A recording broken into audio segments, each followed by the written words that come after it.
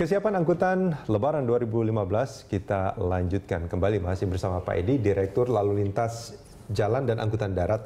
Pak Edi, ini kalau kita bicara soal uh, apa namanya tarif, ini kan uh, ya. ada tarif tol, paling tidak juga ada tarif angkutan umum yang sering kali menjadi pertanyaan publik juga. Nah ini uh, rencana Kemenhub seperti apa Pak soal ini? Ya, yang pertama untuk tarif tol ya. ya. Jadi untuk tarif tol nanti dari pihak pengelola jalan tol. Mudah-mudahan dapat diskon lah. Tidak ada apa namanya harapan dari kami bisa ada diberikan diskon lah dari pengelola jalan tol, terutama untuk truk ya. Hmm. Untuk angkutan, tapi nantinya angkutan barang ada kebijakan nanti kita hmm. bicarakan. Angkutan barang akan di, masih dipersilahkan untuk lewat selama uh, Lebaran ini.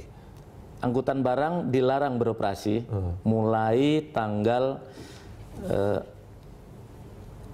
selama harus mudikin ya Hamin minus ya Hamin 5 Hamin sampai 5 dengan, ya? dengan H plus 3 Oke, itu di seluruh tol atau di atau di tol di seluruh Indonesia. Di seluruh Indonesia di Jawa, itu sudah dan, ya. itu sudah dilarang ya. Dilarang. Artinya Jawa, kalau angkutan, Sumatera dilarang untuk beroperasi, hmm. kecuali hmm. truk pengangkut angkutan lebaran 10 bahan pokok. Hmm. Nah, itu sama ya. ini yang apa bawa sepeda motor sepeda motor pengangkut BBM. Oh. Kemudian hantaran pos. Hmm. Dan jenis kendaraannya ya eh, tandem ya ataupun hmm. tronton yang hmm. bersubuh kemudian truk besar itu dilarang tergandengan dan okay. kereta tempelan oh, dilarang oh, okay, untuk okay. jadi yang pengangkut peti kemas juga dilarang itu dilarang ya diizinkan untuk angkutan ekspor impor ya harus ada izin dari kepala dinas perhubungan provinsi Setempat, kebijakannya ya? begitu ya okay. untuk yang mungkin barang-barang yang rawan bauk ataupun yeah. ada batas waktunya. Okay. Dan ini dimulai sejak H-5 yeah.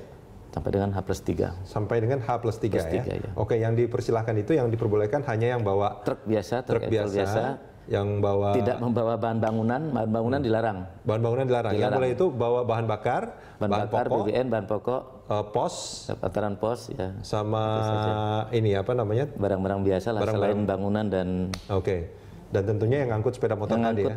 sepeda motor, sepeda motor tidak dilarang ya. Oke. Nah ini soal, soal tar, eh, tarif tol tadi, ini tidak ada imbauan dari Kementerian Perhubungan agar apa pengelola jasa, uh, pengelola uh, tol itu untuk untuk memberikan diskon bang. Karena ya. kalau kita melihat sekarang kan banyak broadcast broadcast tuh pak, iya. bahwa tol mana ini akan jadi berapa, tol mana akan jadi berapa seperti itu. Itu itu belum dikonfirmasi itu ya? Ya mudah-mudahan dari apa pengelola jalan tol bisa menurunkan tarif tolnya hmm. sehingga uh, untuk kendaraan-kendaraan yang besar mungkin bisa masuk tol sehingga hmm. tidak mengganggu kendaraan kecil yang di jalan-jalan kabupaten hmm. maupun jalan-jalan kota itu. Hmm.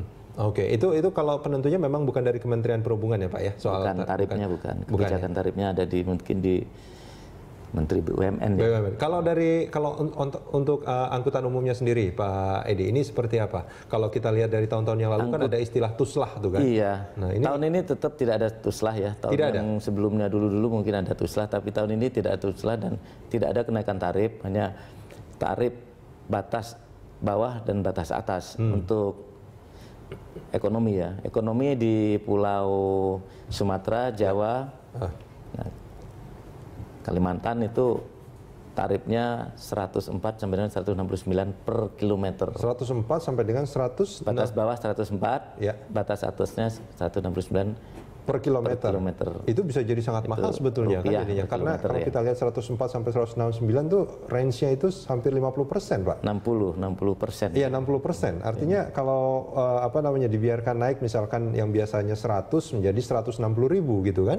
Iya. Itu itu itu uh, memang memang dipersilahkan seperti dipersilahkan, itu. Dipersilahkan memang dia ada batas atas dan batas bawah. Hmm. Uh, hal ini biasa terjadi komplain ya, yaitu hmm. tadi karena dia biasa pada saat sepi hari hmm. biasa itu uh, dia float di tarif bawah. Hmm. Uh, pada saat lebaran ya. terjadi yeah. kenaikan tadi seperti contoh 111 jadi 160. Yeah. Dia akan komplain ke kantor di sub ataupun LLAJ setempat. Hmm. Nah, kadang-kadang ya tidak bisa kita salahkan karena memang yeah. masih di dalam range range itu interval kelas tidak ada batasan atas, ya atas bawah ya. tidak ada batasan dalam untuk untuk di boleh Enggak, artinya artinya uh, Kemenhub mencoba untuk membatasi kenaikan itu walaupun ada range batas atasnya. Ya itu sudah batasnya. Itu dia. Iya. Oh, per kilometer 169. Hmm. Sedangkan untuk di uh, daerah mana tuh Sulawesi Sulawesi Kalimantan nggak salah Iya. kalau Bali dan itu good tarif yang tadi yang satu lagi 115 rupiah 187 tapi sama range-nya di 60 persen 60 persen juga 60%, range-nya ya. iya. Oke. Nah ini untuk untuk eh, angkutan umum ekonomi. ekonomi Untuk ekonomi. sedangkan non ekonomi yang AC bis malam istilahnya Iya. bis patas itu diserahkan kepada mekanisme pasar jadi Oh, oke. di situ ada titik titik Equilibrium ya? equilibriumnya antara mereka akan terjadi Oh, oke. dan kalau terlalu tinggi mungkin yang satu tidak akan laku gitu Iya, tapi kalau terjadi oligopoli Iya, repot juga ini itu Pak yang- kalau yang semuanya juga sudah- sepakat untuk segini ya. iya itu masalahnya kebutuhan saat itu Hmm. bisa 400 kali lipat kebutuhan saat lebaran nanti Iya. Nah ini kalau misalkan ada eh, kan sering kali begini Pak Aidi itu kalau di terminal saya juga pernah ngalamin Pak.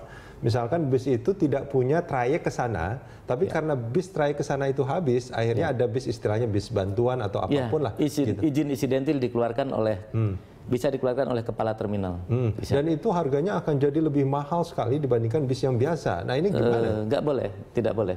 Hmm. Kalau terjadi melampaui tarif yang sepada bagaimana kita sampaikan tadi Ya. pelanggaran, Itu bisa pelanggaran? dilakukan penindakan ya. Oke, Pak Edi, ini ada satu penelpon dari Kalibata, Pak Bambang. Selamat pagi, Pak Bambang.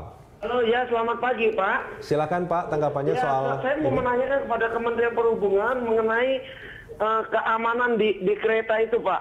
Ya. Keamanan di kereta, kemudian masalah persiapan keamanan itu loh Pak. Ya. Itu bagaimana nih Pak? Juga terus berapa rencananya di gerbong yang akan diluncurkan untuk mudik kali ini Pak? Oke, Pak Bambang eh, pernah mengalami ini apa namanya merasa tidak aman atau melihat atau Ya mengalami sendiri eh, di saya kereta? minta tol- eh, mohon eh, di, di klarifikasinya untuk persiapan tersebut Pak. Terima kasih. Baik, Pak Bambang dari Kalibata. Ini sebetulnya harusnya ditanyakan ke Dirjen Perkeretaapian ya. Apa-apa ya kita. Tapi mungkin Pak Edi bisa merespons ini. Jadi yang disiapkan untuk kereta api yang siap operasi seluruhnya adalah 410 ya. 410. Ini eh, plus tambahan.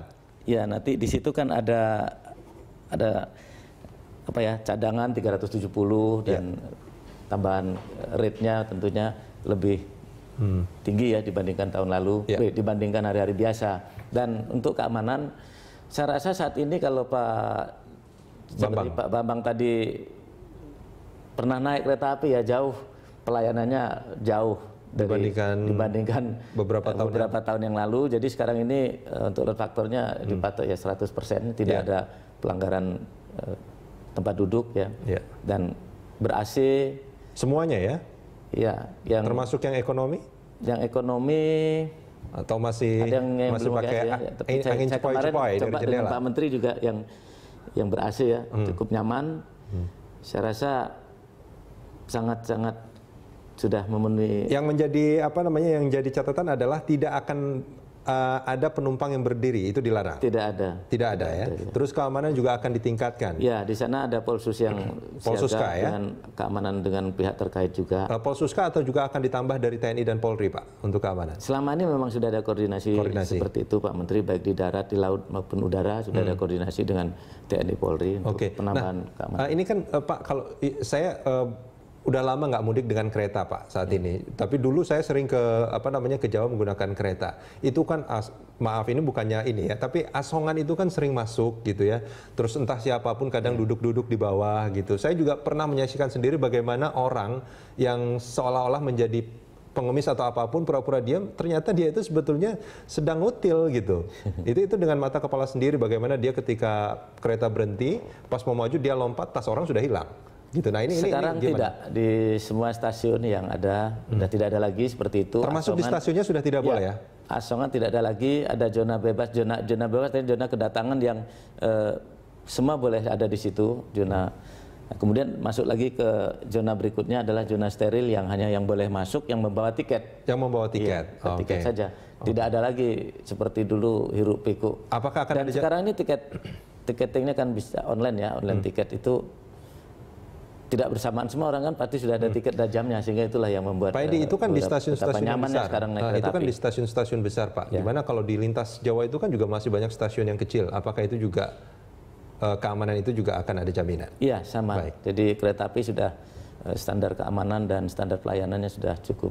Baik ya. Baik Pak Edi kita lanjutkan ini. Saya- rasa sudah nyaman sekali lah. Nyaman ya. Jadi saya, jadi, saya jadi pengen nyobain Pak Iya boleh. Kita- kita kemarin akan- kita sama Pak Menteri dua kali, tiga kali. Saya Terakhir tadi ma- kemarin malam ke Cirebon sama Pak Menteri juga, sama Dirjen KA, Dirjen Oke. Darat.